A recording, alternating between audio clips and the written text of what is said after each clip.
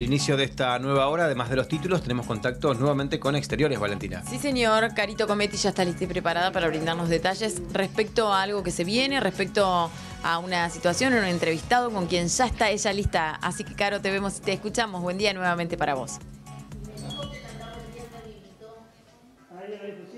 Hola chicos, ¿cómo están? Sí, así es, retomamos de nuevo el móvil y en este caso en el Consejo Profesional de Ciencias Económicas, porque como ayer anticipábamos, se venía una nueva jornada de colecta de sangre, donación de sangre, y por eso nos vinimos hasta el lugar para ver cómo arrancó la jornada, que a las siete y media ya tuvo sus primeros voluntarios y como verán detrás mío ya están donando con, con muchas ganas, con muchos ánimos, y por eso estamos con la, eh, con la doctora Gabriela Jacobo, que es la responsable del programa de donaciones del programa provincial de hemoterapia. Buenos días, Gabriela, gracias por recibirnos. Contanos un poquito cómo comenzó el desarrollo de esta jornada. Hola, buenos días. Bueno, eh, esta, como todos los años, nosotros hacemos con el Consejo de Profesionales de Ciencias Económicas eh, una colecta, así que muy bien, como todos los años, vienen tempranito, eh, ya toman un desayuno mientras van esperando y bueno, esperamos todavía hasta las 11 que se acerque más gente que quiera ayudar, ¿no es cierto?, a, como siempre decimos, a dar vida. Contanos qué requisitos eh, evalúan ustedes a la hora de donar sangre. Bueno, más que nada siempre tener en cuenta que después de una cirugía, eh, ya sea mayor o menor, tatuajes, perforaciones en orejas, acupuntura es un año para donar. Eh, después de endoscopías y colonoscopías son seis meses.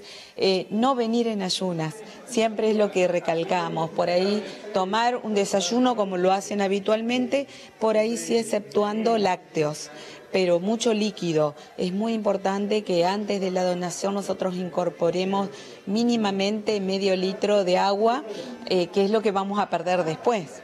Y, después eh, sentirse bien.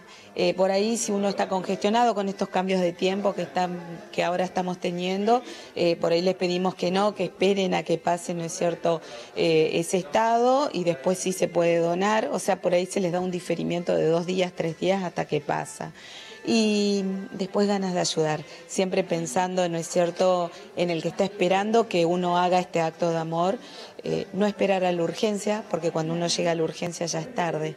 Eh, entonces, acercarse, estas son oportunidades que desde el programa se brinda a la población para que por ahí puedan donar sangre más cerca, ¿no es cierto?, de donde viven, en una zona por ahí eh, más ágil que lo que es el hospital. Eh, y bueno, son jornadas abiertas, así que la verdad que está bueno que, la gente se acerque. Para que la gente sepa, ¿cuánto dura el proceso de la colecta? En realidad la donación eh, son 10 minutos, entre que el donante se anota, luego eh, pasa lo que es la entrevista y la extracción, 10 a 15 minutos. Eh, lo que pasa es que después los dejamos desayunando un rato, que se queden sentados, eh, pero es rápido, es un proceso rápido. Sobre todo lo que es la colecta que es mucho más ágil, ¿no? Contanos cuáles van a ser las próximas fechas y lugares para, nuevas colectas. Bueno, mañana eh, vamos a la ciudad de Feliciano, eh, vamos con el colectivo, ¿no es cierto?, de salud integral móvil, eh, así que estamos desde las 7 de la mañana hasta las 11 frente al hospital. tenemos el martes en la comuna de Sauce Montrul, el miércoles en Colonia Avellaneda, eh, la semana siguiente eh, tenemos en la farmacia Villegas, que es la primera colecta que hacemos con, esa institución. Eh, después tenemos con la Junta Vecinal del Lomas. Así que venimos con una serie de colectas. Después nos vamos a Villa Libertador, en donde también una fundación nos llamó para organizar una colecta.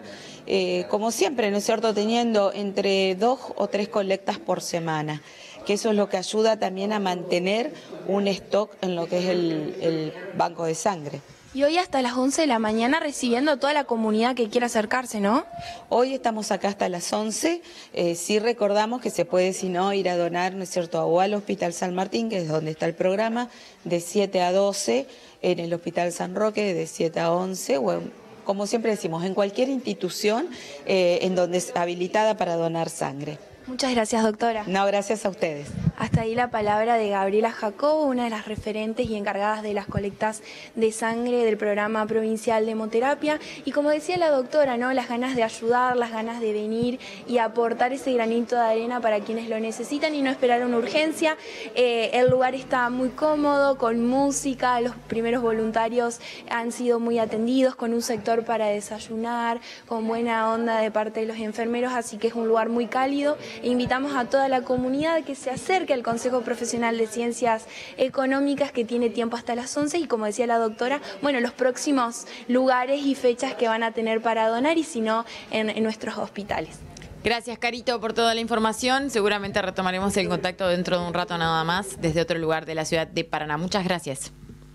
Colecta de sangre entonces que se está desarrollando y hay tiempo hasta las 11 de la mañana para acercarse. Muy bien, nosotros pasamos por Manet. Por